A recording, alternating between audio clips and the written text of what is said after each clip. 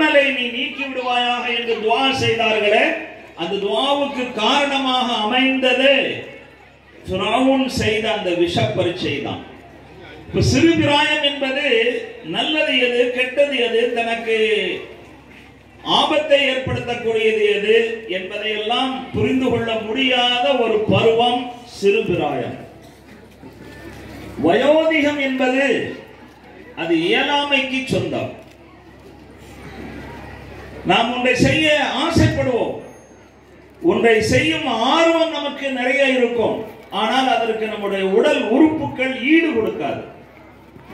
நிறைய வணங்க வேண்டும் என்ற ஆசை வரும். நிறைய சமூக காரியங்கள் செய்ய வேண்டும் என்கிற ஒரு ஆர்வம் பிறக்கும். ஆனால் உடல் அதற்கு ஒத்துழைக்காது.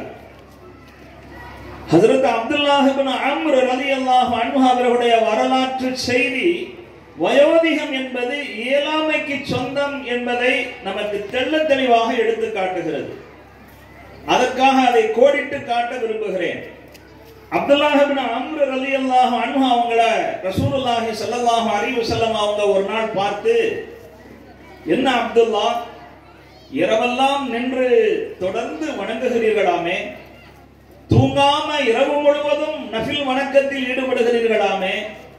பகலெல்லாம் தொடர்ந்து நோன்பு வைத்துக் கொண்டே இருப்பதாக கேள்விப்பட்டேனே உண்மைதானா என்று விசாரிக்கிறார்கள். அதற்கு அவர் ஆம் என்று சொல்கிறார். ரசூலுல்லாஹி ஸல்லல்லாஹு அலைஹி வசல்லம் அவர்கள் சொல்கிறார்கள் வணக்கமாக இருந்தாலும் கூட ஒரே அடியாக மூழ்கி விடக்கூடாது வணக்கத்தில் ஒரே அடியாக மூழ்குவது சில நேரங்களிலே பிற மனிதனுக்கு நம்முடைய பிள்ளைகளுக்கு மனைவி மக்களுக்கு செய்ய வேண்டிய கடமைகள் தவறி போகும் அளவுக்கு போய்விடக் கூடாது என்பதை உணர்த்தும் விதமாக உன்னுடைய கண்களுக்கென்று நீ செலுத்த வேண்டிய சில கடமை இருக்கிறது. உன்னுடைய மனைவிக்கு நீ நிறைவேற்ற வேண்டிய கடமை இருக்கிறது. உன்னுடைய உடலுக்கென்று நீ தர வேண்டிய உரிமை இருக்கிறது. உன்னை சந்திக்க வருபவர்களுக்கென்று நீ நேரம் ஒதுக்க வேண்டியது இருக்கிறது. அதனால் இந்த அளவுக்கு நீ நோன்பு வைத்து வணக்கத்தில் ஈடுபடுவது தவிர்க்க வேண்டும் என்று சொல்லி அவங்க சொன்னாங்க ஒரு மாதத்திற்கு மூன்று நோன்பு வைப்போம் இரவு நேரங்களில் நீ தூங்கவும் செய்ய வேண்டும் தொழவும் செய்ய வேண்டும் என்பதாக சொன்னாங்க. மாதத்துக்கு மூன்று நோன்பு வைத்தால் ஒரு நோன்புக்கு பத்து என்கிற கணக்கில் வருடம் முழுவதும் நீ நோன்பு வைத்த அந்த நன்மை கிடைத்து விடும் என்று சொன்னபோது அப்துல்லாஹிபின் அம்ர் ரலியல்லாஹு அன்ஹு அவங்க சொல்றாங்க இன்னி ஆஜிது கும்பா யார சொல்லலாம் நான் உடல் வலிமையை பெற்றிருக்கிறேன். நான் இன்னும் அதிகமாக நோன்பு வைக்க விரும்புகிறேன். உங்களுடைய அனுமதியோடு அதை செய்ய வேண்டும் என்று ஆசைப்படுகிறேன் என்றார்கள். அப்படி என்றால் தாவூது நபி அலைஹிஸ்ஸலாம் அவர்கள் வைத்த நோன்பு போல நீங்க நோன்பு வச்சுக்கங்க அப்படின்னாங்க. தாவூத் அலைஹிஸ்ஸலாத்து வசலாம் அவர்கள் வைத்த நோன்பு என்ன அப்படின்னா ஒரு நாள் நோன்பு வைப்பார்கள் இன்னொரு நாள் நோன்பை விடுவார்கள். வருடம் முழுவதும் ஒரு நாள் நோன்பு வைப்பார்கள் இன்னொரு நாள் நோன்பு விடுவார்கள். அப்துல்லாஹ் இப்னு அம்ர் ரலியல்லாஹு அவர்கள் தனக்குள்ளே ஒரு உறுதிமொழி எடுத்துக் கொண்டார்கள். நான் வாழும் காலம் வரையிலும் ஒரு நாள் நோன்பு ஒரு நாள் நோன்பு இல்லாமல் விடுவது அப்படிங்கிறத தொடர்ந்து செய்து கொண்டே வருகிறார்கள். வயோதிகம் அடைந்த சமயத்திலே அவர்கள் இப்படி கூறுவார்கள் யா லைத்தனி கபில் ருக்ஸதன் நபி ஸல்லல்லாஹு அலைஹி வஸல்லம். நபி ஸல்லல்லாஹு அலைஹி வஸல்லம் அவர்களுக்கு எனக்கு அளித்த சலுகையை நான் ஏற்றிருக்க வேண்டுமே. அதை ஏற்றுக்கொள்ளாமல் அதிக பிரசங்கித்தனமாக ஒரு மாதத்துக்கு மூன்று நோன்பு போதும் என்று சொன்னார்கள். அதுவே மாதம் முழுவதும் நோன்பு வைத்த நன்மையை பெற்றுத்தரும் என்று சொன்னார்கள். நான் நிறைய நான் உடல் வலிமையை பெற்றிருக்கிறேன் என்று சொல்லி வலியை பெற்றுக்கொண்டேன் அனுமதி வாங்கிக் கொண்டேன். ஒரு நன்மையை செய்து பழகிவிட்டேன். இப்பொழுது வயோதிகத்திலே என்னால் ஒரு நாள் நோன்பு ஒரு நாள் விடுதல் என்கிற நிலையிலே. ஒரு நாள் விட்டு ஒரு நாள் நோன்பு வைப்பது என்பது என்னால் இயலாமல் போய்விடுகிறது சிரமப்படுகிறேன். நான் ரசூலுல்லாஹி ஸல்லல்லாஹு அலைஹி வஸல்லம் அவர்கள் தந்த சலுகையை பெற்றிருக்க வேண்டும் என்று பின்னால் வருத்தப்பட்டார்கள் என்று பார்க்கிறோம். இதிலே நமக்கு கிடைக்கிற பாடம் என்ன என்றால் வயோதிகம் என்பது ஆர்வம் இருக்கும். ஆனால் அது இயலாமைக்கு சொந்தம். பல காரியங்களை செய்வதற்கு இயலாமல் போய்விடும் என்பதை பார்க்கிறோம். எத்தனையோ வயோதிகர்கள் முதியவர்களுக்கு நேரம் இருக்கிறது. ஓய்வு நேரம் இருக்கிறது. மனதில் ஆசையும் ஆர்வமும் இருக்கிறது. நீண்ட நேரம் நின்று வணங்க வேண்டும் என்கிற ஆர்வம் இருக்கிறது. ஆனால் அவர்களுக்கு உடல் ஒத்துழைப்பதில்லை. பரவான தொழுகையை கூட நின்று தொழ முடியாத அளவுக்கு எனக்கு காலில் பிரச்சனைப்பா நான் என்ன வேணுக்குண்டா வீப்புக்காக வேண்டியா நான் உட்கார்ந்து தொழுகிறேன். வீப்புக்காக வேண்டியா சீக்கிரமாக தொழுது முடித்துக் கொள்கிறேன். என் உடலால் முடியவில்லை என்று புலம்புபவர்களை பார்க்கிறோம். ஆனால் வாலிபம் என்கிற இன்னொரு பருவம் இருக்கிறது இதுதான் சாதனைக்கு சொந்தம். உலகத்திலே சாதனையாளர்கள் என்று யாரையெல்லாம் அறிகிறோமோ அவர்கள் தீனிலே சாதனை படைத்தவர்களாக இருந்தாலும் சரி துன்யாவில் சாதனை படைத்தவர்களாக இருந்தாலும் சரி அவர்கள் தங்களுடைய வாலிபத்தை சரியாக பயன்படுத்தி இருக்கிறார்கள் ஒரு இலட்சியத்தோடும் இலக்கோடும் அவர்கள் பயணித்திருக்கிறார்கள் என்பதை பார்க்கலாம். ஹஜரத் பெருமானார் ரசூலுல்லாஹி ஸல்லல்லாஹு அலைஹி வஸல்லம் அவர்களுடைய ஏகத்துவ கொள்கையை இஸ்லாம் என்னும் இந்த வாழ்க்கை நெறியை மக்களுக்கு எடுத்துச் சொல்கிற போது ஆரம்ப காலகட்டத்திலே வந்து ஏற்றுக்கொண்ட பெரும்பாலானோர் யாருன்னு பார்த்தா வாலிபர்கள் தான் மருத்துவர்களில் அதிகமானவோ அதிகமானோர் வயோதிகர்கள் என்று பார்க்கிறோம். கணி நிறைந்த பெரியவர்களே எந்த ஒரு சமூகமும் அது வலிமை பெற வேண்டும் என்று சொன்னால் நல்ல முறையிலே வளர்ச்சி காண வேண்டும் என்று சொன்னால் இந்த உலகத்திலே பரகாசித்து நின்று நிலைக்க வேண்டும் என்று சொன்னால் அந்த சமூகத்துடைய வாலிபர்கள் சீராக உருவாக்கப்பட்டிருக்க வேண்டும். அப்பொழுதுதான் அந்த சமூகம் வரலாற்றிலே பிரகாசிக்கும் என்பதிலே சந்தேகம் இல்லை. அந்த அடிப்படையில் நாம் பார்த்தோம் என்று சொன்னால் வாலிபம் எது வாலிபம்? சிறுபிராயம் என்பது சுமார் பதினைந்து வயது அல்லது ஆணோ பெண்ணோ பருவ வயதை அடைந்து விட்டார்கள் என்று சொன்னால் அப்போதிருந்து வாலிபம் என்பது துவங்குகிறது. நாற்பது வயது. சில அறிஞர் பெருமக்களுடைய கருத்தின்படி ஐம்பத்தி ஓராவது வயதை அடைகிற வரையிலும் வாலிபம் தான். ரசூல்லாஹி ஸல்லல்லாஹு அலைஹி செல்லம் அவர்கள் சொல்வார்கள் என்னுடைய சமுதாயத்தின் மொத்த வயது என்பது அறுபதுக்கும் எழுபதுக்கும் மத்தியில் அதை கடந்து வாழ்பவர்கள் குறைவு என்று ரசூலுல்லாஹி ஸல்லல்லாஹு அலைஹி வஸல்லம் அவங்க சொன்னாங்க. அதன்படி பார்த்தோம் என்று சொன்னால் ஒரு மனிதன் சராசரியாக அறுபத்தைந்து வயது வாழ்கிறான் என்று வைத்துக் கொண்டால் அதில் அதிகமான பருவம் அதிகமான காலம் வயது என்பது வாலிபத்தில் களைகிறது என்பதை பார்க்கிறோம். சிறுபிராயத்தில் அவர் கழிக்கின்ற ஆ- ஆண்டுகளை விட முதுமையில் அவருக்கு கழிகின்ற ஆண்டுகளை விட வாலிபத்தில் கழிகின்ற ஆண்டுகள் தான் அதிகம் என்பதை தெரிந்து கொள்கிறோம். குர்ஆன் ஷரீஃபில் அல்லாஹு தாலா வாலிபத்தை ரெண்டு பலகீனங்களுக்கு இடையிலே கிடைக்கின்ற பலமான பருவம் என்று சிறப்பித்து கூறியிருக்கிறான். மற்ற பருவத்தை விட வாலிபம் எதனால் சிறப்புமிக்கது என்று பார்த்தோம் என்று சொன்னால் ரெண்டு காரணங்களை சொல்லலாம். ஒன்று அதிக வயது வாலிபத்தில் தான் இருக்கிறது. இன்னொன்று ஆற்றல் மிக்க பருவமாக அந்த வாலிபம் அமைந்திருக்கிறது. அல்லாஹு தாலா அல்லாஹுல்லதி ஹலகக்கும் உங்களை பலகீனத்திலிருந்து படைக்கிறான். சிறுபராயத்திலிருந்து நீங்கள் வளர்ந்து வருகிறீர்கள். சும்ம ஜஅல மின் பாதி பலவீனத்திற்கு பிறகு பலத்தை அல்லாஹ் ஏற்படுத்துகிறான். அதாவது வாலிபத்தை தருகிறான். பிறகு அந்த பலமான பருவத்திற்கு அடுத்தபடியாகவும் பலவீனத்தை தந்து விடுகிறான் என்று குர்ஆன் ஷரீஃபில் சொல்கிறபடி பலமான ஒரு பருவமாக இஸ்லாம் வாலிபத்தை பார்க்கிறது. அதிகமான ஆயுளை பெற்றிருக்கிற ஒரு பருவமாக வாலிப பருவம் அமைந்திருக்கிறது. அந்த பருவத்தில் நாம் என்ன சாதித்தோம்? நாம் என்ன இலக்கோடு பயணிக்கிறோம்? நாம் என்ன இலக்கோடு அந்த ஆயுளை கழிக்கிறோம் நேரங்களை செலவழிக்கிறோம் என்பது மிக முக்கியமான விஷயம்.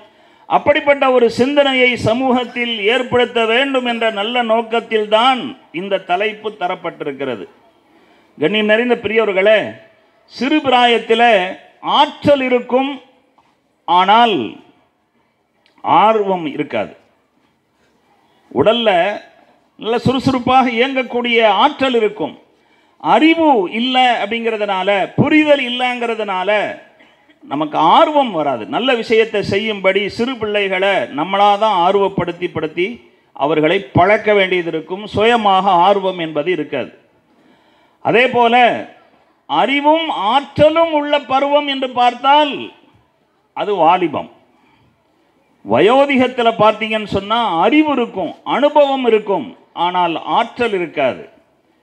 இப்படி பார்த்தாலும் வாலிபம் என்பதுதான் ஆக சிறப்பான ஒரு பருவமாக இருக்கிறது. வாலிபம் என்பது இறைவனுடைய தனிப்பெரும் ஒரு அருட்கொடை அப்படிங்கிறத நம்ம புரிஞ்சுக்கணும். அதனால தான் ரசூலுல்லாஹி சல்லல்லாஹ் அலிஹி வசல்லம் அவங்க சொல்லுவாங்க யுகுத்தனிம் ஹம்சன் கபல ஹம்ஸ். ஐந்து விஷயங்கள் ஏற்படுவதற்கு முன்பு நீங்கள் ஐந்து விஷயங்களை பாக்கியமாக கருதி அதை நல்ல விதமாக பயன்படுத்தி கொள்ளுங்கள். அந்த ஐந்து விஷயத்தில் முதன் முதலாக சொல்வது ஷபாபக கபல ஹரமிக்க. வயோதிகம் ஏற்படுவதற்கு முன்பு உனக்கு கிடைத்திருக்கிற வாலிபத்தை நீ நல்ல விதமாக பயன்படுத்தி கொள் என்று ரசூலுல்லாஹி சல்லல்லாஹ் அலி வசல்லம் அவங்க சொல்லுவாங்க. இரண்டாவதாக வியாதி ஏற்படுவதற்கு முன்பு உன்னுடைய ஆரோக்கியத்தை நல்ல விதமாக பயன்படுத்திக்கொள்.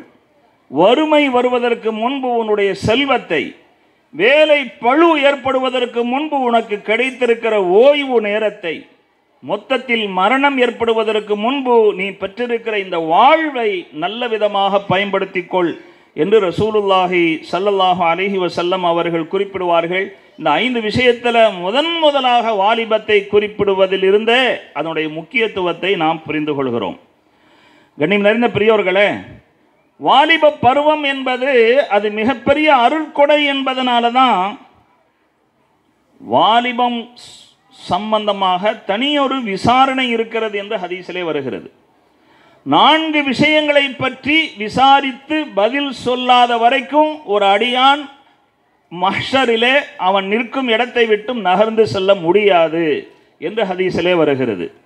அப்படி வருகிற போது முதல் விஷயம் உன்னுடைய வயதை எதில் கழித்தாய்? உன்னுடைய வாலிபத்தை எதில் அழித்தாய்? உன்னுடைய செல்வத்தை எவ்வழியில் சம்பாதித்தாய்? எவ்வழியில் செலவு செய்தாய்? நீ கற்ற கல்வியின்படி எந்த அளவுக்கு அமல் செய்தாய்? இந்த விசாரணைகளில் ஒவ்வொன்றையும் பார்த்தோம் சொன்னால் மேலோட்டமாக பார்த்தா வாலிபம் பற்றி ஒரே ஒரு விசாரணை தான் அப்படின்னு தோணும். ஆயுளை பற்றி என்று வரும்போது அதுக்குள்ளேயும் வாலிபம் இருக்கிறது. சம்பாத்தியம் என்று பார்த்தோம் என்று சொன்னால் ஒரு மனிதன் அதிகமாக வருமானம் ஈட்டக்கூடிய பருவம் என்பது வாலிப பருவம்தான் கல்வி என்று கல்வி குறித்தும் விசாரிக்கப்படும் என்று பார்க்கிற போது அதுவும் அதிகமாக நடைபெறுவது வாலிப பருவத்தில்தான் எனவே எல்லா விஷயங்களுக்குள்ளேயும் இந்த வாலிபம் என்பது ஒரு தொடர்புள்ளதாக இருக்கிறது. வாலிபம் குறித்து நாம் அல்லாஹ்விடத்தில் பதில் சொல்லியாக வேண்டும் என்கிற ஒரு முக்கியமான செய்தி இதற்குள்ளே இருக்கிறது. வாலிபம் என்பது ஒரு அல்லாஹுடைய பெரிய அருட்கொடைங்கிறதுனால தான் சொர்க்கவாசிகள் சொர்க்கத்தில் மரணிக்கும் போது அவர் சிறுவராக இருந்தாலும் வயோதிகராக இருந்தாலும் அவங்க வந்து வாலிபர்களாகவே எழுப்பப்படுவார்கள். ஆணாக இருந்தாலும் பெண்ணாக இருந்தாலும். சொர்க்கத்தில் ஹதீஸிலே வருகிறது ஹசரத் ஈசா நபி அலஹீஸ்லாத்து வசலாம் அவர்களுடைய வயதுடையவர்களாக எழுப்பப்படுவார்கள். ஆதம் நபி அலஹீஸ்லாத்து வசலாம் அவர்களுடைய உடல் உயரம் எவ்வளவோ அறுபது முழம். அந்த மாதிரி தான் எல்லோரும் எழுப்பப்படுவார்கள். முகம்மது நபி சல்லல்லாஹு அலிஹி வசல்லம் அவர்களுடைய மொழி பேசக்கூடியவர்களாக யூசுப் நபி அலஹி சலாத்து வசலாம் அவர்களுடைய அழகை பெற்றவர்களாக சொர்க்கவாசிகள் சொர்க்கத்தில் எழுப்பப்படுவார்கள் அனுப்பப்படுவார்கள் என்று ஹதீஸிலே வந்திருப்பதை பார்க்கிறோம். அப்படி அதை பற்றி வரக்கூடிய ஒரு ஹதீஸில் சொர்க்கவாசிகளை பார்த்து மலக்கு ஒருவர் அறிவிப்பு செய்வார். இன்றிலிருந்து உங்களுக்கு வாழ்வுதான் மரணம் என்பதே கிடையாது. இன்றிலிருந்து நீங்கள் ஆரோக்கியமாகவே இருப்பீர்கள். பலா தஸ்கமும் ஆபதா ஒரு காலமும் உங்களுக்கு நோய் என்பதே வராது. சொர்க்கத்துக்கு போன பிறகு சுகர் ப்ரெஷர் இதெல்லாம் செக் பண்ண வேண்டியதோ அதற்காக வேண்டி மருந்து சாப்பிட வேண்டியதோ அல்லது உடல் உறுப்புகளில் ஏதோ ஒன்று பழுதாகிவிட்டது அதற்காக வேண்டி மாத மாதம் வார வாரம் ஏதாவது செக் பண்ணணும் அதுக்கு மருந்து சாப்பிடணும் என்ற எந்த நிலையும் கிடையாது. சொர்க்கத்துக்கு போன பிறகு "வ இன்னலக்கும் அன் வலா தஸ்கமு அபதா என்று மலக்கு அறிவிப்பு செய்வார். அந்த அறிவிப்புடைய தொடரிலே இப்படி ஒரு வாசகம் வருகிறது. "வ இன்னலக்கும் அந்த ஷிப்பு ஃபலா தஹ்ரமு அபதா. நீங்கள் வாலிபர்களாகவே இருப்பீர்கள். ஒரு காலமும் நீங்கள் வயோதிகம் அடைய மாட்டீர்கள் என்று அந்த மலக்கு அறிவிப்பு செய்வார் என்று பார்க்கிறோம். கண்ணியம் நிறைந்த பெரியவர்களே இவ்வளவு மகத்துவம் மிக்க அல்லாஹுடைய பெரும் அருள்கொடையாக இருக்கிற அந்த வாலிபத்தை நாம் எந்த அளவுக்கு பேணி பாதுகாக்க வேண்டும் அதை எந்த அளவுக்கு நல் வழிகளிலே செலவிட வேண்டும் என்பது பற்றி நாம் சிந்தித்து பார்க்க வேணும் ஹசரத் ரசூலுல்லாஹி சல்லல்லாஹு அறிவு வஸல்லம் அவங்க சொல்லுவாங்க இன்னல்லாஹ ல யஅஜபு மின ஷாப் லைஸ லஹு சபுவா. தடம்புரளாத அல்லது குறும்புத்தனம் இல்லாத ஒரு வாலிபனை பார்த்து அல்லாஹ் மகிழ்ச்சி அடைகிறான் என்று ஹதீஸிலே வந்திருக்கிறது. பொதுவாக மனிதன் நல்லவனாக இருப்பது அல்லாஹுவுக்கு பிடிக்கும். அதில் வாலிப பருவத்திலேயே ஒருவர் பக்குவமாக தீனுடைய பற்றுதலோடு வாழ்ந்து வருகிறார் என்று சொன்னால் அவர் அல்லாஹுக்கு மிக பிடித்தமானவர் என்பதை இந்த ஹதீஸ் சுட்டி காட்டுகிறது கண்ணியம் நிறைந்த பெரியவர்களே இதுபோல வாலிபர்கள் குறித்து வாலிபர்கள் எத்தகைய லட்சியம் கொண்டவர்களாக இருக்க வேண்டும்? தங்களுடைய வாலிப பருவத்தை என்னென்ன காரியங்களுக்காக வேண்டியெல்லாம் செலவழிக்க வேண்டும் என்பது பற்றி நிறைய அறிவுரைகள் தரப்பட்டிருக்கின்றன. இலக்கு இல்லாத வாலிபர்களாக இன்று வாலிபர்கள் இருக்கிறார்களா என்று கேட்டால் நிறைய இருக்கிறார்கள். அதே சமயம் இந்த வீக்களத்தூர் ஜமாத் இங்கு திரண்டிருக்கிற சமுதாய பெரியவர்கள் அன்பு சகோதரர்கள் வாலிபர்கள் பெண்கள் என்று எல்லோரையும் பார்க்கிற போது உண்மையிலேயே மனம் மகிழ்கிறது. குறிப்பிட்டு சொல்ல வேண்டும் என்று சொன்னால் இந்த ஊரிலே ஆலிம்கள் அதிகமாக உருவாகி வருகிறார்கள். நாற்பத்தி இரண்டு பேர் வரைக்கும் இதுவரை ஆலிங்களாக இருக்கிறார்கள் என்ற செய்தி உண்மையிலேயே மனதிற்கு மிகப்பெரிய சந்தோஷத்தை தரக்கூடிய ஒரு செய்தியாக இருக்கிறது. ஏனென்றால் கல்வி ஞானம் கல்வி அறிவு என்பது இந்த வாலிபர்களை நல்ல முறையிலே அவர்களை மாற்றும். அவர்களுடைய வாழ்க்கையிலே ஒரு திருப்பு முனைக்கு இந்த கல்வி ஞானம் என்பது காரணமாக அமையும் என்பதிலே சந்தேகம் இல்லை ஆலிம் என்பவர் தான் மட்டும் நல்லவராக நடக்கக்கூடியவராக அவரை உருவாக்கப்படுகிறது என்பது அல்ல பல நல்லவர்களை உருவாக்கக்கூடிய ஒருவரை மதரசா உருவாக்கி அனுப்புகிறது. இதுவரையிலும் வாலிபர்களில் சில பேர் அவர்களுக்கு இலக்கே இல்லை என்று சொன்னால் அடுத்தவனை என்ன செய்யலாம் என்று யோசித்துக் கொண்டிருப்பார்கள். அடுத்தவனை என்ன செய்யலாம் என்று யோசிப்பவர்களை அடுத்து என்ன செய்யலாம் என்று மாற்றக்கூடியதுதான் கல்வி. கல்வி அறிவு பெற்றவர்கள் வந்து சும்மா இருக்க மாட்டார்கள். நாம் பெற்ற கல்வியை எப்படி நாம் அபிவிருத்தி செய்வது? இன்னும் கல்வியை மேம்படுத்துவது எப்படி? மேற்கொண்டும் ஏதாவது ஓதலாமா? அல்லது நாம் சமூகத்திற்கு ஏதாவது ஹிதுமத் சமூக பணிகளிலே நம்மை ஈடுபடுத்தி கொள்ளலாமா என்று அடுத்து என்ன செய்வது என்பது பற்றி யோசிப்பவர்களாக இருப்பார்கள். இன்றைய பல இளைஞர்களுடைய நிலை என்னன்னு சொன்னால் எந்த வேலையுமே செய்வதில்லை. சிலர் படிக்கிறார்கள் படித்து முடித்த பிறகு தான் படித்த அந்த லயனில் வேலை கிடைத்தால் தான் செய்வேன். இல்லை என்றால் அதுவரையிலும் சும்மா இருப்பேன் என்று இருப்பவர்கள் உண்டு. தான் எதற்கு இந்த உலகத்திற்கு வந்தோம்? என்ன செய்து கொண்டிருக்கிறோம்? என்ன செய்ய வேண்டும்? நாம் யார்? நமக்கு மரணத்துக்கு பிறகு என்ன நடக்கப் போகிறது? இந்த கேள்விகளுக்கெல்லாம் விடை தெரியாமல் அல்லது விடை தெரிவதற்கு முயற்சிக்காமல் வாழ்ந்து கொண்டிருக்கிற எத்தனையோ இளைஞர்கள் அவர்களை பற்றி நாம் கவலைப்படாமல் இருக்க முடியாது.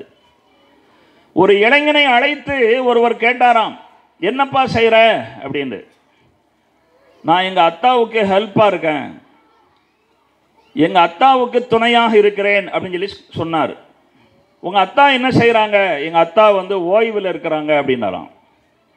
ஓய்வில் இருக்கிற அத்தாவுக்கு இவர் ஹெல்ப்பாக இருக்கிறாருன்னா இவரும் ஓய்வில் இருக்கிறாருன்னு அர்த்தம். இது போன்ற இளைஞர்கள் நிறைய இருக்கிறார்கள். ஒரு இளைஞன் ஒரு நிறுவனத்தில் வேலை கேட்டு நேர்காணலுக்காக வேண்டி போயிருக்கிறான்.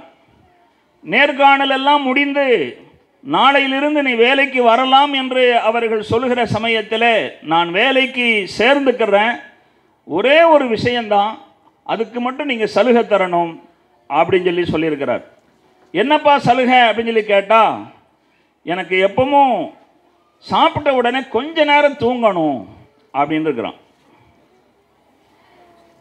இதுக்கு அடுத்து இன்னொரு விஷயத்தையும் சேர்த்து சொல்கிறான் சாப்பிட்ட உடனே கொஞ்ச நேரம் தூங்கணும். தூங்கி எழுந்திரிச்ச உடனே சாப்பிடணும். இதுதான் வந்து என்னுடைய கண்டிஷன் இந்த கண்டிஷனுக்கு உட்பட்டா நாளையிலேருந்து வேலைக்கு வர்றேன். இவர் எப்படி வேலை செய்வார்? சாப்பிட்டு முடித்த உடனே தூங்குவார். தூங்க முடித்த உடனே சாப்பிடுவார். அடுத்து சாப்பிட்ட உடனே தூங்கணுங்கிற கண்டிஷனுக்கு வந்துடுவார் இப்படியும் கூட இளைஞர்கள் இருக்கிறார்கள். இதே மாதிரி இல்லாவிட்டாலும் கூட இந்த மனநிலையில் உள்ள இளைஞர்கள் நிறைய இருக்கிறாங்க. உடல் வளைந்து எதையாவது செய்ய வேண்டும் என்று சொன்னால் அது அவர்களுக்கு கஷ்டம். மேல்போக்காக சொகுசாக உடல் வளையாமல் எதையாவது செய்ய முடியும் என்று சொன்னால் சொல்லுங்கள். அத்தகைய வேலை வேண்டுமானால் நான் செய்கிறேன் என்று சொல்பவர்கள் உண்டு. கண்ணியம் நிறைந்த பெரியவர்களே அல்லாஹு தாலா வாலிப பருவத்திலே ஒருவர் பக்குவமாகவும் தீனை பற்றி பிடித்தும் வாழ்கிறார் என்று சொன்னால் அத்தகையவர்களுக்கு ஒரு தனி சிறப்பும் தனி மகிமையும் தருவதாக ஹதீஸுகளிலே நாம் பார்க்கிறோம். ஏழு வகையினருக்கு அல்லாஹு தாலா அரிசின் கீழ் நிழல் அளிப்பான். அரிசின் நிழலை தவிர வேறு நிழலையே அந்த அன்றைய நாளிலே பார்க்க முடியாது. அதில் முதலாவது சொல்வது நீது நீதமாக நடந்து கொள்ளக்கூடிய தலைவர். இரண்டாவது சொன்னது தன் வாலிபத்தை வணக்க வழிபாடுகளிலே செலவழித்த ஒரு வாலிபர். ஹசரத் ரசூலுல்லாஹி ஸல்லல்லாஹு அலிஹி வசல்லம் அவங்க தொடர்ந்து சொல்லுவாங்க மஸ்ஜிதில் மஸ்ஜிதோடு எப்பொழுதும் தன்னுடைய உள்ளத்தை லைக்கச் செய்த ஒரு மனிதர். அதே போல இரண்டு மனிதர்கள் அல்லாஹுக்காக வேண்டிய நேசம் கொள்கிறார்கள். அல்லாஹுக்காக வேண்டியே கோவித்துக் கொள்கிறார்கள். அப்படிப்பட்ட இரண்டு நண்பர்கள். இன்னொரு மனிதன் அழகும் அந்தஸ்தும் மிக்க ஒரு பெண் தவறான காரியத்திற்காக வேண்டி அழைத்தும் அல்லாஹுவை நான் அஞ்சு கொள்கிறேன் என்று சொல்லி பாவத்திலிருந்து விலகி கொண்ட ஒரு மனிதன். இதே போல தூய்மையான எண்ணத்தோடு தர்மம் செய்கிறாள். வலதுகை செய்யும் தர்மம் இடதுகைக்கு கூட தெரியாது. அந்த அளவுக்கு ரகசியமாக தர்மம் செய்பவர். கடைசியாக சொன்னார்கள் ஒரு மனிதன் தனிமையில் அமர்ந்து அல்லாஹவை நினைத்து பார்த்து அல்லாஹ்வின் மீது உண்டான பிரியம் அல்லாஹ்வின் மீது உண்டான பயம் இதன் காரணத்தினாலே கண்ணிலே கண்ணீர் வடிக்கின்ற அழுகின்ற ஒரு மனிதன். இத்தகையவர்களுக்கு அரிசின் கீழ் நிழல் கிடைக்கும் என்று சொன்னார்களே அதில் வாலிபர் என்று தனியாக குறிப்பிட்டிருப்பது என்பது எவ்வளவு பெரிய சிறப்பான விஷயம் என்பதை நாம் சிந்தித்து பார்க்க வேண்டும். கண்ணியம் நிறைந்த பிரியவர்களே இஸ்லாத்தினுடைய போதனை அப்படிங்கிறத மிகச் சுருக்கமாக சொன்னால் ரெண்டு விஷயங்களுக்குள் அடக்கலாம். ஒட்டுமொத்த போதனைகளும் படைத்தவனை வணங்குவது படைப்புகளுக்கு வழங்குவது. இந்த ரெண்டுக்குள்ள தான் அடங்கியிருக்கும். படைத்தவனாகிய அல்லாஹுவை வணங்குதல் என்பது ஒரு புறம். தொழுகிறோம் திக்ர் செய்கிறோம் குரான் ஓதுகிறோம் நோன்பு வைக்கிறோம் உம்ரா செய்கிறோம் ஹஜ்ஜி செய்கிறோம். இதெல்லாம் படைத்தவனுக்காக நாம் செய்யக்கூடிய வணக்கங்கள் என்று சொன்னால் ஜக்காத் கொடுக்கிறோம் உபரியான தர்மம் செய்கிறோம் ரமலானுள்ளே சஹருக்கு ஏற்பாடு செய்கிறோம். வந்து யாசகம் கேட்கக்கூடிய தேவையுடையவருக்கு தேவையை வழங்குகிறோம். ஏழைகளுடைய உணவுக்கு ஏற்பாடு செய்கிறோம். திருமணத்திற்கு ஏற்பாடு செய்கிறோம். மக்கள் பயன்பெறுகின்ற வகையில் வேறு வகையான சமூக காரியங்களை நல்ல அறங்களை செய்கிறோம். அன்னதானம் என்கிற உணவு வழங்குதலை மேற்கொள்கிறோம். இதெல்லாம் படைப்புகளுக்கு வழங்குதல். அந்த படைப்பு மனிதனாக இருந்தாக வேண்டும் என்ற கட்டாயம் இல்லை. வேறு உயிரினமாக இருந்தாலும் கூட அவைகளுக்கு வழங்கினாலும் அது வணக்கம்தான். அதுக்கும் அல்லாஹ்விடத்தில் நன்மை இருக்கிறது பெரிய மதிப்பு இருக்கிறது.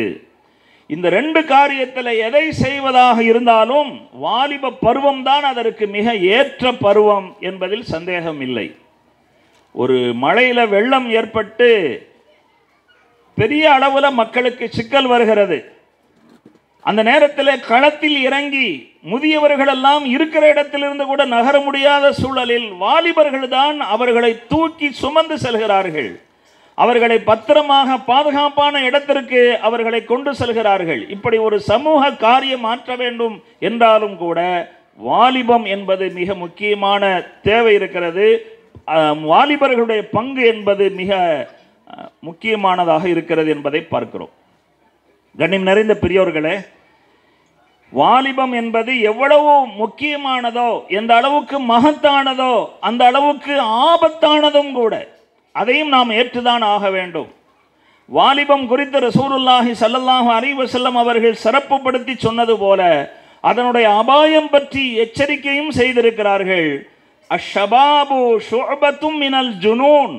வாலிபம் என்பது பைத்தியத்தின் ஒரு வகை என்பதாக எச்சரிக்கை செய்திருக்கிறார்கள்.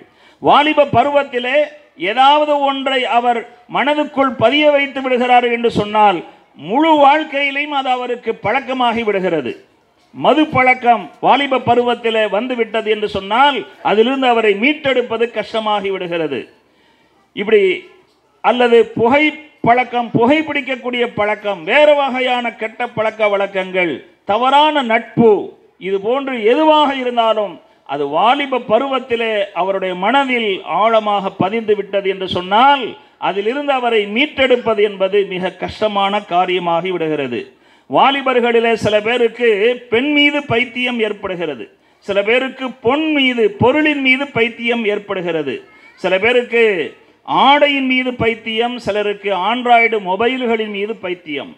சில பேருக்கு கார்கள் பைக்குகளின் மீது பைத்தியம் சில பேருக்கு தான் சார்ந்திருக்கும் இயக்கத்தின் மீது பைத்தியம். இயக்க பற்றி இருப்பதை நான் தவறு என்று சொல்லவில்லை. இயக்க பைத்தியம் என்று சொன்னால் தன் இயக்கத்தில் இருப்பவன் தவறு செய்தாலும் கூட அவனுக்காக பாதுகாப்பாரனாக நின்று கொண்டு வக்காலத்து வாங்கி பேசக்கூடிய அதைத்தான் பைத்தியம் என்று கூறுகிறோம். கண்ணியம் நிறைந்த பெரியவர்களே இப்படி இஸ்லாத்திற்கும் சமுதாயத்திற்கும் பலன் அளிக்க வேண்டிய இளைஞர்களுடைய பலமும் இளைஞர்களுடைய உழைப்பும் இன்று எங்கெங்கோ சென்று வீணாகி கொண்டிருக்கிறது விரயமாகி கொண்டிருக்கிறது என்பது பற்றி நாம் கவலைப்படாமல் இருக்க முடியாது. வாலிபர்களாகிய இளைஞர்களுக்கும் இந்த உலகத்தில் பிறந்து வாழுகின்ற முஸ்லிமான ஒவ்வொரு நபருக்கும் ஆண் பெண் அனைவருக்கும் மனதில் இருக்க வேண்டிய லட்சியம் என்று ஒற்றை லட்சியத்தை சொல்ல வேண்டும் என்று சொன்னால் ரில்வானுல்லாஹ் அல்லாஹு தாலாவுடைய திருப்பொருத்தத்தை பெற்றவனாக நான் இந்த உலகத்தில் வாழ வேண்டும். இந்த உலகத்திலிருந்து நான் பிரிகிற போது இறைவனுடைய பொருத்தத்துக்கு உரித்தானவனாக மரணிக்க வேண்டும் என்கிற லட்சியத்தோடு வாழ்வது என்பது இளைஞர்களுக்கும் தேவை முதியவர்களுக்கும் தேவை சிறியவர்களுக்கும் தேவை. கண்ணியம் நிறைந்த பிரியவர்களே அப்படிப்பட்ட இறைவனுடைய திருப்பொருத்தத்தை அடைய வேண்டும் அல்லது அடைவோம் என்கிற அந்த தகுதியோடு இருக்கிறோமா என்பதை இந்த நல்ல நேரத்திலே நாம் சிந்தனை செய்து பார்க்க வேண்டும். அல்லாஹுடைய திருப்பொருத்தம் வேண்டும் என்று சொன்னால் அதற்காக நாம் என்ன செய்ய வேண்டியது இருக்கிறது? நான் ஏற்கனவே கூறியது போல படைத்தவனாகிய அல்லாஹுக்கு செய்ய வேண்டிய வணக்கங்கள் அதில் எந்த குறையும் இல்லாமல் முழுமையாக நிறைவேற்ற வேண்டும். படைப்புகளுக்கு நாம் செய்ய வேண்டிய கட்டாயமான சில காரியங்கள் சேவைகள் இருக்கிறது. அவைகளையும் குறைவின்றி சரியாக நிறைவேற்ற வேண்டும். ஆனால் தற்கால இளைஞர்களிடத்தில் இந்த இரண்டு விஷயத்திலும் எத்தகைய குறைபாடு எந்த அளவுக்கு அவர்களிடத்தில் பின்னடைவு இருக்கிறது என்பதை வருத்தத்துடன் சொல்லியாக வேண்டியது இருக்கிறது. ஒவ்வொரு முஸ்லீமும் இரண்டு வகையான எதிரிகளிடத்தில் போரிட வேண்டியது இருக்கிறது. கண்ணுக்கு தெரிகின்ற எதிரிகள் கண்ணுக்கு தெரிகின்ற விரோதிகள் அவர்களிடமிருந்தும் அவர்களுடைய சூழ்ச்சிகளிலிருந்தும் நாம் பாதுகாப்பாக நாம் பத்திரமாக இருக்க வேண்டும் என்பது முக்கியம். ஆனால் கண்ணுக்கு தெரியாத விரோதி தான் இபிலீஸ். இபிலீஸும் இபிலீஸுடைய படையும். இபிலீஸும் இபிலீஸுடைய படையும் முஸ்லிம்களாகிய நம்மை குறிப்பாக இளைஞர்களை வழிகெடுக்க வேண்டும் என்பதில் எந்த அளவுக்கு முயற்சி செய்கிறார்கள் சூழ்ச்சி செய்கிறார்கள் அந்த முயற்சியில் அவர்கள் அன்றாடம் வெற்றி பெற்று கொண்டிருக்கிறார்கள். இது நிறைய பேருக்கு தெரிவதில்லை. இபிலீசுடைய படையிடத்தில் தோற்று போகிற இளைஞன் தான் இன்று தோற்றிருக்கிறோம் என்பதை தெரியாமலேயே காலம் கழித்துக் கொண்டிருக்கிறான். ரசூருல்லாஹி சல்லல்லாஹு அலைஹி செல்லம் அவர்கள் சொல்வார்கள் ஒவ்வொரு நாள் படுக்கைக்கு தூங்கச் செல்கிற போது ஷைத்தான் நம்முடைய பிடரியிலே மூன்று முடிச்சு போடுகிறான். ஒவ்வொரு முடிச்சியின் போதும் இரவு நீண்ட நேரம் இருக்கிறது. தூங்கு நல்லா தூங்கு என்று சொல்கி ஊதுகிறான். ஆனால் காலையிலே நேரமாக எழுந்து அல்லாஹுவை நினைவு கூறியவராக அல்ஹம்துலில்லாஹில்லதி அஹ்யானா பஅதமா மாத்தனா வ இலைஹின் நுஷூர் என்று அல்லாவை திக்ர் செய்து விழிக்கிறோம் என்று சொன்னால் ஒரு முடிச்சு அவிழ்கிறது. ஒலு செய்தால் இன்னொரு முடிச்சு அவிழ்கிறது. தொழுகிறோம் என்று சொன்னால் மூன்றாவது முடிச்சும் அவிழ்கிறது. மனது வந்து சுறுசுறுப்பாகவும் நல்ல உற்சாகத்தோடும் அவன் காலை பொழுதை அடைகிறான். இதுக்கு மாற்றமாக இந்த காரியங்களில் எதையும் செய்வதில்லை. எழுந்திருக்கிற போதே தன் தலைமாட்டில் வைத்திருந்த செல்போன் எங்கே கிடைக்கிறது என்று அதை எடுப்பது.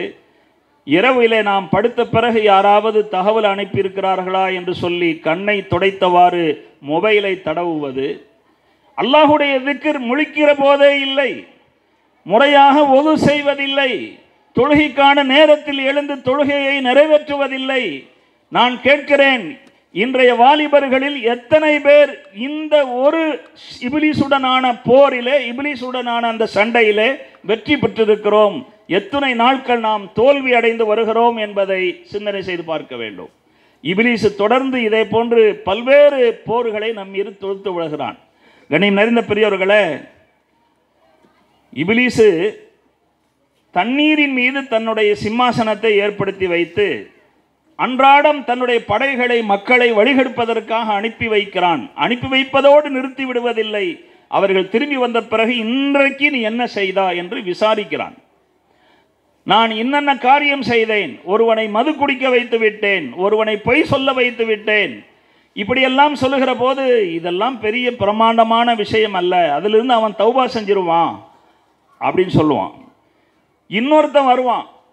நான் தொடர்ந்து கணவன் மனைவி ரெண்டு பேருக்கு இடையில் முயற்சி பண்ணி அவங்களுக்கு இடையில் சண்டை மூட்டி ரெண்டு பேரும் பிரிஞ்சிட்டாங்க. சபாஷ் நேம அன்த நீதான் ரொம்ப நல்லவன் என்று சொல்லி இபிலிஸ் அவனுக்கு சபாஷ் சொல்லுகிறான். சமூகத்தில் பிளவை ஏற்படுத்துவது என்பது இபிலிஸுக்கு அவ்வளவு பிடித்தமானது. இந்த மாதிரியான ஒரு மறைமுகமான போர் நம் மீது இபிலிஸ் தொடுத்து கொண்டிருக்கிறானே இதனுடைய இதற்கு எத்தனை பேர் இலக்காக இருக்கிறோம் என்பதை சிந்தனை செய்து பார்க்க வேண்டும். ஒற்றுமை என்பது சமூகத்தில் ரொம்ப முக்கியம். வீட்டுக்கும் முக்கியம் நாட்டுக்கும் முக்கியம். நாம் ஒற்றுமையாக இல்லைன்னு சொன்னால் வேற எவனாவது வந்து பஞ்சாயத்து செய்ய வந்துடுவான் ஒரு வீட்டில்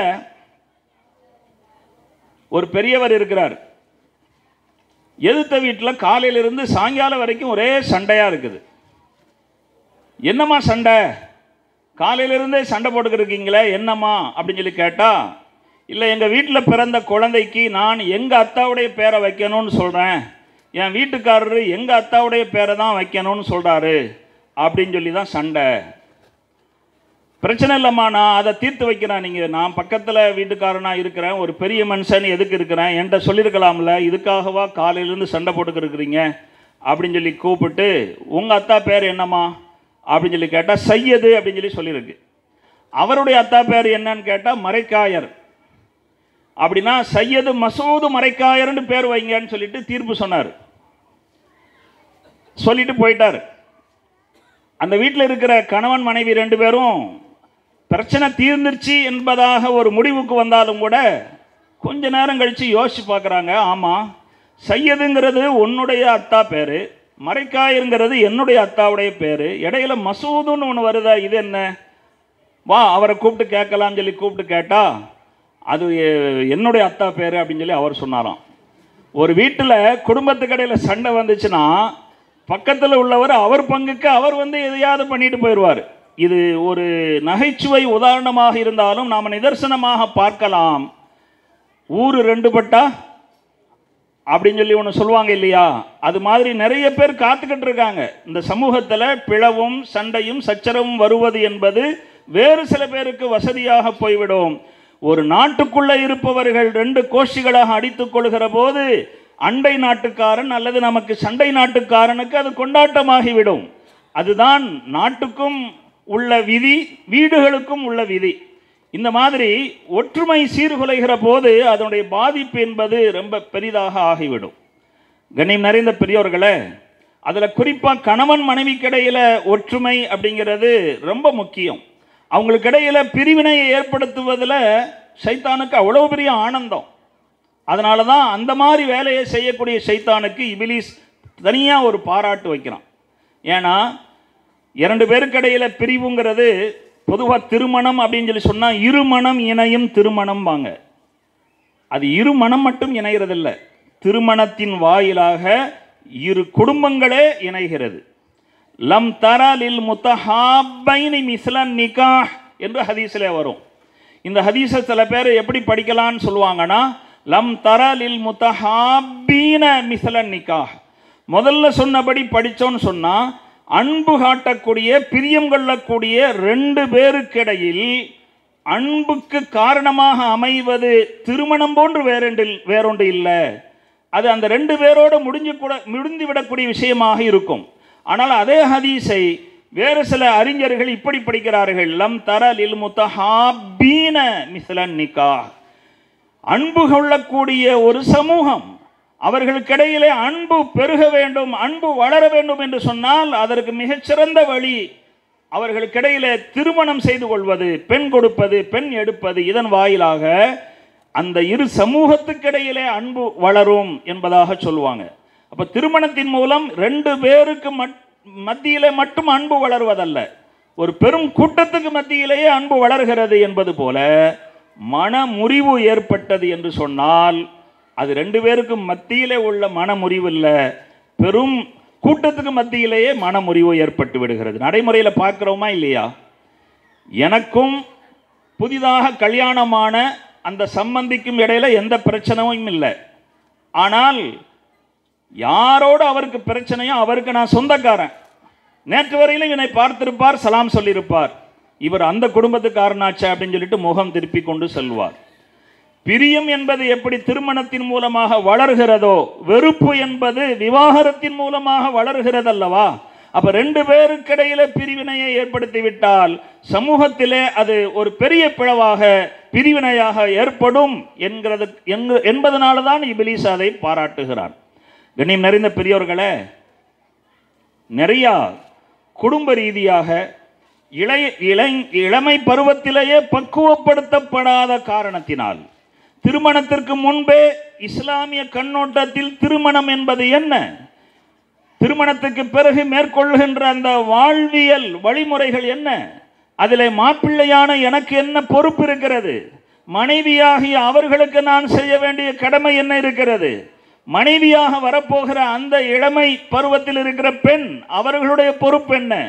அவர்கள் செய்ய வேண்டிய கடமை என்ன? இதை பற்றிய தெளிவு இல்லாத காரணத்தினால் இது பற்றிய பயிற்சி இல்லாத காரணத்தினால் நிறைய திருமணங்கள் முந்தைய காலங்களை விட அதிக சதவீதத்தில் இப்பொழுது அது பிரிவினையில் போய் முடிந்து விடுகிறது.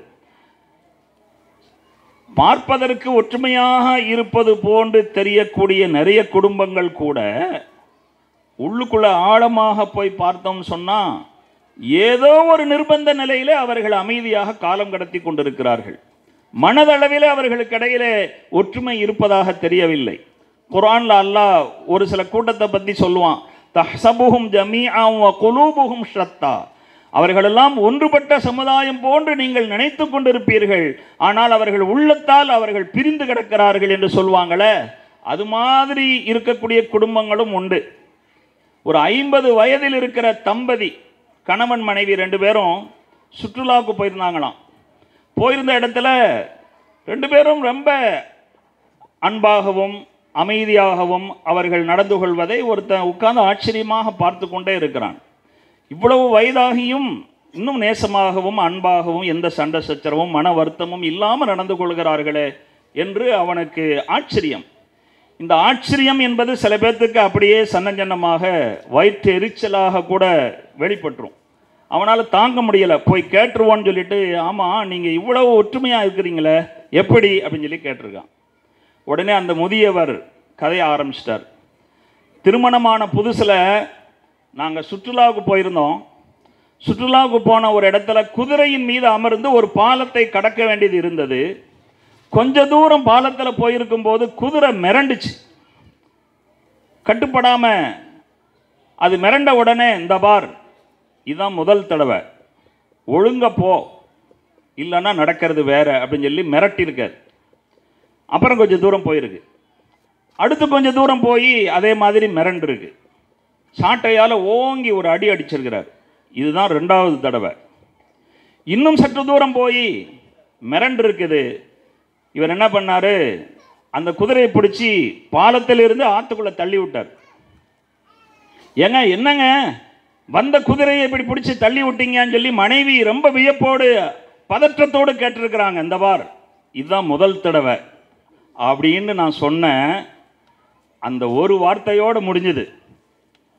இதுதான் முதல் தடவைன்னு குதிரைக்கு சொன்னார் ரெண்டாவது தடவை அடித்தார் மூணாவது தடவை பிடிச்சி தள்ளி விட்டார். இந்த மனுஷன் ரெண்டாவது மூணாவது கேள்வி கேட்டால் நம்மையும் அதே போன்று செய்து விடுவார்னு சொல்லி அன்னைக்கு அமைதி காத்த பொன் பொம்பளை தான் ஐம்பது வயதை தாண்டியும் இன்னமும் நான் என்ன சொன்னாலும் அது பாட்டுக்கு கேட்டுக்கிறது எங்களுக்கு இடையில் என்ன பிரச்சனை அப்படிங்கிறத மாதிரி அந்த முதியவர் சொன்னாராம்.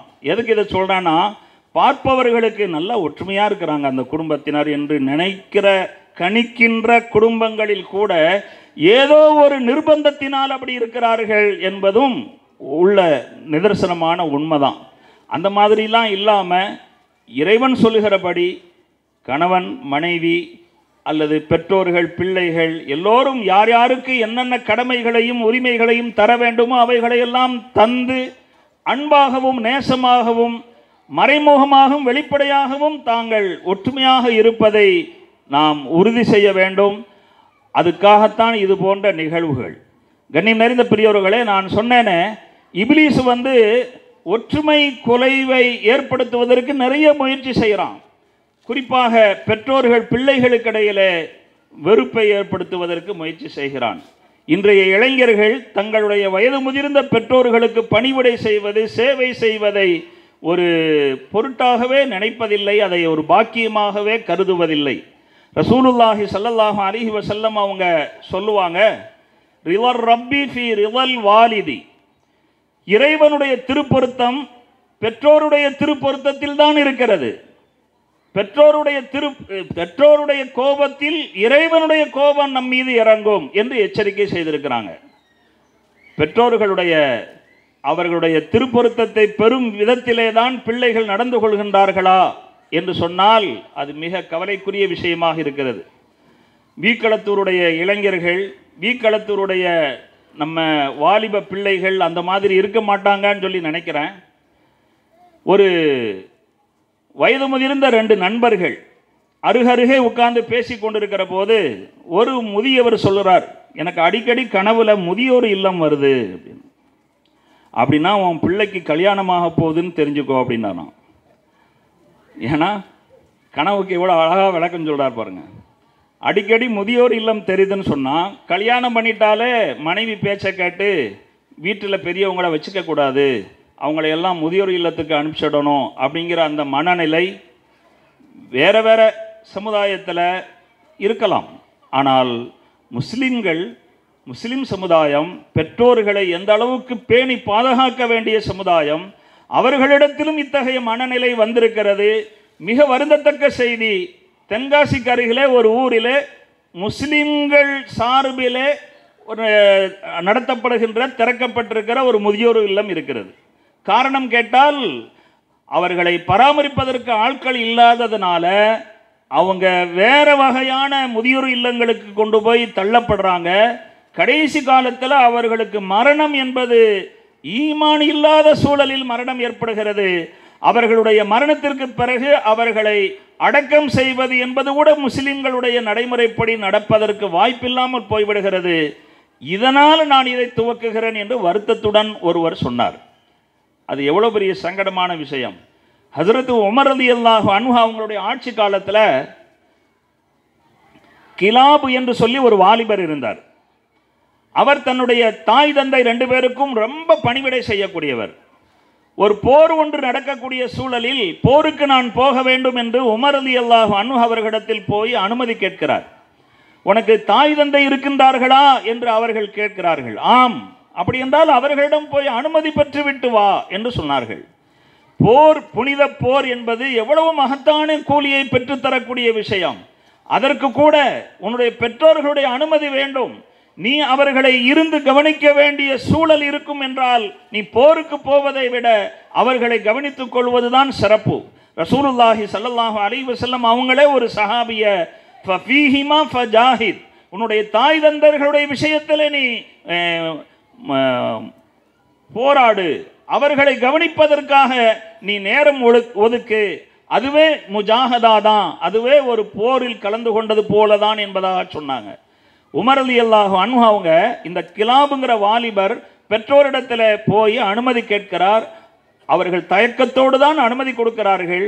அனுமதி கொடுத்ததன் பேரில் போருக்கு சென்ற அவர்கள் நீண்ட நாட்களாக வரவில்லை. அதற்கிடையிலே இந்த முதியவர்களாகிய இவர்களுக்கு பிள்ளையை பற்றிய பெரிய தேட்டமும் கவலையும் வந்து யாக்கூப் நபி அலைஹிஸ்ஸலாம் அவர்கள் யூசுப் நபி அலஹி இஸ்லாம் அவர்களை தேடி அவர்கள் மீது உள்ள பிரியத்தினால எப்படி தேம்பி தேம்பி அழுதாங்களோ அதுபோன்று அழுதார்கள்.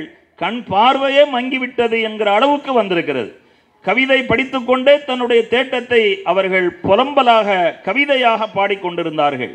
ஒரு சமயத்தில் உமர்லி அல்லாஹ் அன்பு அவர்களுக்கு தெரிவிக்கப்பட்ட போது அவர்களுடைய பிள்ளைகள் அனு- பிள்ளை அனுமதி பெறாமல் சென்றாரா என்று கேட்டார்கள். இல்லை அனுமதியோடு தான் சென்றிருக்கிறார். ஆனாலும் இவர்களுக்கு பிள்ளையை பார்க்க வேண்டும் சந்திக்க வேண்டும் என்ற தேட்டம் வந்தவுடன் அவசர அவசரமாக அவரை அழைத்து வரச் சொன்னார்கள். அழைத்து வந்து சில நிகழ்வுகளெல்லாம் நடந்தது. அதற்கு பிறகு சொன்னார்கள் கிலாப் நீ சொர்க்கத்தை விரும்புகிறாயா? உனக்கு சொர்க்கம் வேண்டும் என்று சொன்னால் இதோ இந்த பெரியவருடைய இரு பாதங்களுக்கு கீழ் இருக்கிறது என்று சொன்னார்கள். சொர்க்கம் என்பது பெற்றோர்களை திருப்தியாக அவர்களோடு நடந்து கொள்வது அவர்களை கவனித்துக் கொள்வது அவர்களுக்கு தேவையான எல்லா பணிவிடைகளையும் செய்வது இதன் மூலமாக சொர்க்கத்தை பெற முடியும் என்று உயர்ந்த பண்பை போதித்த இந்த மார்க்கத்தில் முஸ்லிம்கள் வேறெங்கோ போய் முதியோர் இல்லத்தில் தள்ளப்படுகிறார்கள். அதிலிருந்து அவர்களை மீட்கப்பதற்காக நான் ஒரு முதியோர் இல்லம் துவக்குகிறேன் என்று ஒரு ஆலிம் முஸ்லிம்களுக்கான முதியோர் இல்லத்தை துவக்கி இருக்கிறார் என்பதே ஒரு கவலையான விஷயமாக சங்கடமான செய்தியாக எனக்கு தெரிகிறது. கண்ணியம் நிறைந்த பெரியோர்களே இப்படி ரசூலுல்லாஹி சல்லல்லாஹு அலிஹி வசல்லம் அவங்க பெற்றோர்களுடைய திருப்பொருத்தம் அதுதான் அல்லாஹுடைய ரில்லுவானை பெற்றுத்தரும் என்று சொன்னார்கள். நாம் இந்த உலகத்தில் அல்லாஹுடைய திருப்பொருத்தத்தை பெறுவதற்கு என்னென்ன வழிகளெல்லாம் சொல்லப்பட்டிருக்கிறதோ எல்லா விஷயங்களையும் தெளிவோடு மிக கவனத்தோடு அதை புரிந்து அதற்கான முயற்சியில் இறங்க வேண்டும். வாலிபர்களுக்கு மட்டுமல்ல அடுத்தடுத்து இ- நம்ம சமுதாய அடுத்த தலைமுறையாக வளர்ந்து வருகிற சிறுவர்களுக்கு இந்த மாதிரியான விஷயங்களை நாம் போதிக்க வேண்டும். நாம் இந்த உலகத்தில் வாழும்போது அல்லாஹுடைய திருப்பொருத்தம் ஒன்றே குறிக்கோள் என்று வாழ்ந்தோம் என்று சொன்னால் அதன்படி நடக்கின்ற நேரத்திலே சில மனிதர்களுடைய அதிருப்தியை பெற வேண்டியது கூட வரும். பரவாயில்லை என்று சொல்லி எனக்கு அல்லாஹுடைய திருப்தி தான் மேல் அல்லாஹுடைய திருப்தி தான் முக்கியம் என்று நாம் நடந்தோம் என்றால் கண்டிப்பாக மக்களும் சேர்ந்து திருப்திப்படக்கூடிய சூழலை அல்லாஹ் உருவாக்குவான். ஹதீஸிலே வருகிறது மணில் தமசர் இலல்லாஹி பி சஹத்தின் நாசி ரலியல்லாஹு அன்ஹு வ அரலன் நாச அன்ஹு.